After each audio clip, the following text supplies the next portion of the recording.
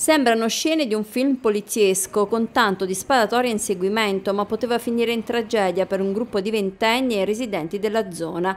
Cinque arresti nella notte tra sabato e domenica a Piane d'Archi. È fallito il colpo della banda composta da cinque pugliesi, uno era il basista locale residente a Casoli. I carabinieri li stavano aspettando, un vero e proprio appostamento in borghese tra le case in via nazionale. I militari dell'arma hanno atteso che i banditi inserissero la cosiddetta marmotta dentro lo sportello sportello esterno dell'ufficio postale dopo aver sfondato la vetrata. Poi sono usciti coi mitra in pugno. Sulla scena del crimine si trovavano inconsapevolmente anche quattro amici di Selva di Altino, appena usciti dal bar Zappacosta. In tre erano andati a prendere la barista che aveva finito il turno quando si sono trovati davanti degli uomini coi mitra spianati. Il panico e poi la retromarcia a tutto gas che ha portato l'Alfa 156 con i quattro ventenni in braccio ai malviventi.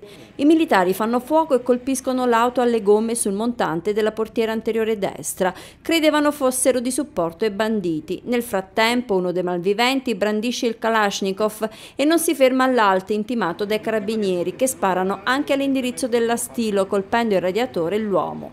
La fuga dei foggiani verso Casoli avrà vita breve. Dapprima abbandonano il compagno ferito ad una gamba e l'auto nei pressi dell'incrocio delle quattro strade. Poi fuggono a piedi nelle campagne dove ad attenderli c'era il basista in un casolare entrare con l'auto pulita, ma i carabinieri li acciuffano prima. Tragedia sfiorata per i quattro amici di Selva di Altino, ma anche per i residenti accanto all'ufficio postale che sulla parete esterna ha due contatori del gas, mentre sul retro la proprietaria della palazzina ha una bombola di gas per la cucina. Giunti sul posto alle 6 del mattino, gli artificieri di Chieti hanno disinnescato la marmotta inesplosa dopo aver evacuato 10 persone nel raggio di una ventina di metri. Le operazioni sono terminate alle 9 del mattino. La scientifica ha rilevato e catalogato oltre una ventina di bossoli che ricoprivano quel tratto di asfalto della nazionale.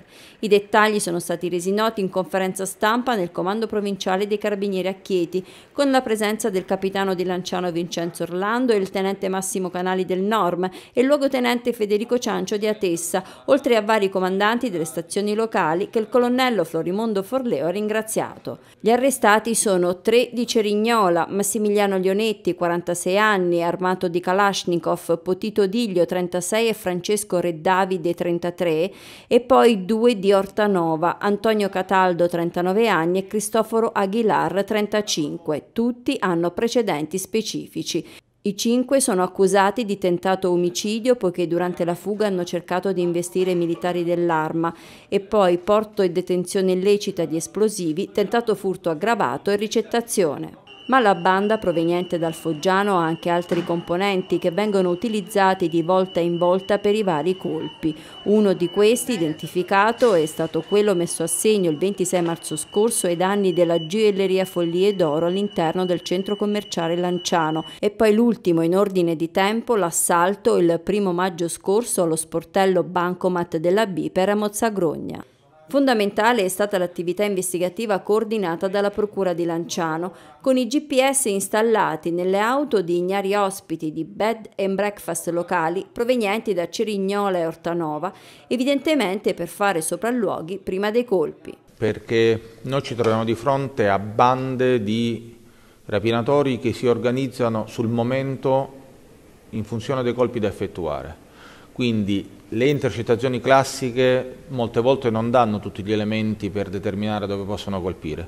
I GPS invece ci localizzano il territorio, in, soprattutto in funzione di sopralluogo, e ci danno un'idea degli obiettivi probabili. In funzione di quello vengono monitorati con i servizi e si cerca di prevenire perché il problema è l'utilizzo dell'esplosivo nell'assalto al bancomat.